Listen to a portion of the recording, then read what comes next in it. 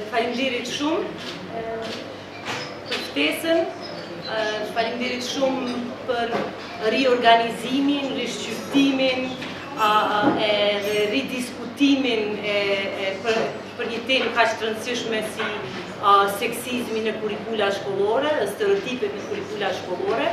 Mendoj që vitin e fundit sidomos, natyrisht edhe 2005-s ka qenë shumë evidente dhe e qartë në raportin e qendrës se sa i pranishëm është seksizmi dhe stereotipet gjinore në librat shkollorë të fëmijëve tanë, po mendoj që sidomos vitin e fundit, individë, organizata feministe, në rrjetet e ndryshme sociale kanë dokumentuar forma të ndryshme të përmbajtjes seksiste të teksteve tona, përmbajtje mizogjene të teksteve shkollore tona. Mendoj që kjo tendenca me minimizu, me injoru problemin, tendenca mos me adresu, është diçka që kësha pas qef me diskutu me ju sote, sot mendoj që s'kom nevoj me bind kërkënd që ka Facebook, a ka lexu gazet vitin e kalun, që kemi gjuhë shumë problematike në tekste shkollore në nivelin fillor, në nivelin e mesëm, në universitete, kemi gjuhë t'urrejtjes, kemi gjuhë mizogjene, edhe komplet t'papranushme. Natyrisht, si feministe dhe si non, seksizmi m'tërbon, po sot nuk po du me fillu diskutimin me ata se po ka seksizm, Po kisha dasht me e diskutu, me fillu argumentin, po e shoh t'udhës me diskutu prej ni këndvështrimi tjetër, ndoshta qashtu ministria e arsimit na ndigjon, sepse ekziston përherë ni far tendenci në shoqninë tone që kur folim për seksizëm, me thonë ah kto feministet diçka gjithmonë gjejnë probleme, unë kisha pas qef me fillu argumentimin me ata që Diskutimet edhe mënyra se si shtrohen problemet, apo rolet gjinore, apo definicionet e familjes e tjera në tekstet tona shkollore, jo veç që janë seksiste, po janë të pabaza, të pasakta, jo vetëm në kontekstin tradicional. Unë mendoj që problemi nuk është që tekstet tona shkollore janë tradicionale. Nuk janë as tradicionale, aty është problemi. Nuk mbështeten as në traditë, unë veç deshta me ju, deshta me ju lexu në klasën e nëntë, përkufizimin e familjes në librin edukata qytetare,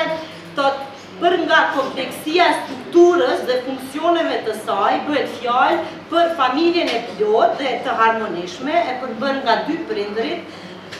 fëmijët e tyre në të cilën fëmijët e tyre nuk manifestojnë probleme, çkado që është kjo, dhe familja e mangët dhe e çrregullt, fëmijët me një, domethënë familjet me një prind, ose fëmijë jashtëmartesorë, me probleme të ndryshme.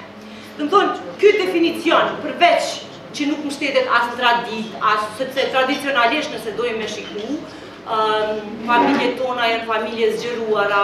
janë familje të mëdhaja, apo, domethënë, as s'mbështetet, as në kanun, as... Përveç asaj nuk ka kurrfarë logike. Apo, ndërsa një send si pedagoge,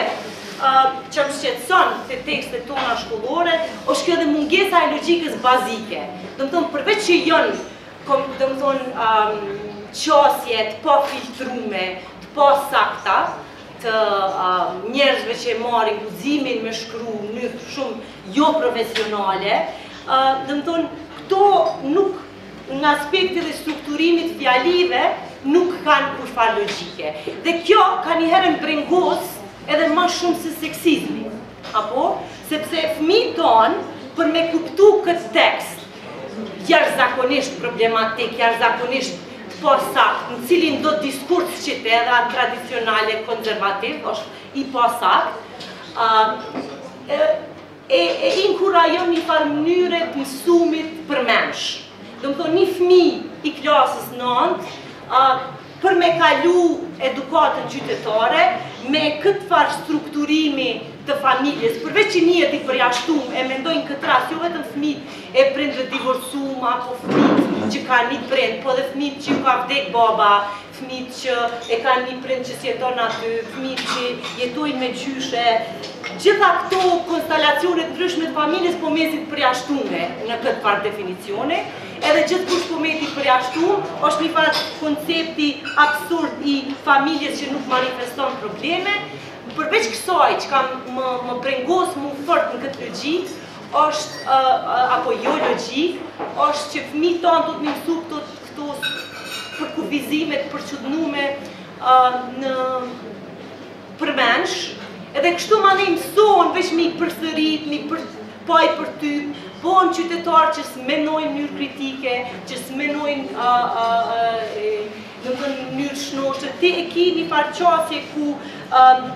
imponohen vlera t'caktume, po edhe një mënyrë përveç që imponohen, apo sepse stereotipet gjinore që i përmeni Lulja, imponojnë, jo normative, apo, imponojnë vlera të caktume, imponojnë rende të caktume shoqërore, apo? Përveç kësaj, përveç kësaj si problematike në vetvete, imponojnë edhe një farë mënyre të caktume të mësumit,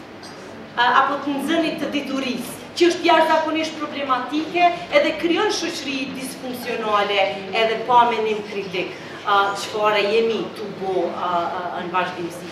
Dhe menoj që, domethonë, përveç që seksizmi dhe mizogjinia në kurrikula, domethonë, është e dokumentu,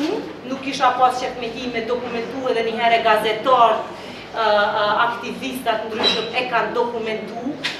i kemi në uebfaqe të ndryshme, i kemi dorëzu edhe në Ministri të Arsimit dhe natyrisht i ka injoru këto n'vazhdimësi, Çka është problematike është edhe kjo që nuk ka, nuk këto t'dhana nuk janë të mbështetuna, nuk ka kurrfarë përkufizimi, domethonë, une nuk e di ku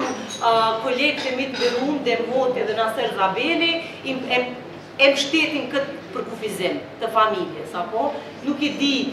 Cili është, domethonë, n'asni se unë e kam vajzë në klasë t'gjashtë dhe e shiqoj edukatën qytetare dhe lexoj bashkë me to, asni përkufizim nuk është i mbështetur, nuk thotë, domethonë, kjo është qasja, apo unë po e mbështes, apo ky definicion vjen nga. Krejt osht e bazume në supozime arogante të autorëve. Apo dhe kjo unë e mendoj që osht ndoshta fundamentale edhe shumë brengosëse, pa pa hy në diskutimin për për seksizmin e qartë dhe sistematik të të kurrikulave Pasi unë e vazhdova garant ma shumë se 8 minuta, po kom qef me lonë hapsinë për diskutim me ju, po unë deshta me hy prej një hyrje tjetër, një hyrje ku e problematizoj komplet atë çka thuhet, jo në bazë të asaj se unë jom feministe dhe po më pengon seksizmi, natyrisht që po më pengon seksizmi, shumë po më pengon, po përveç asaj, Po më pengon edhe mungesa e profesionalizmit minimal.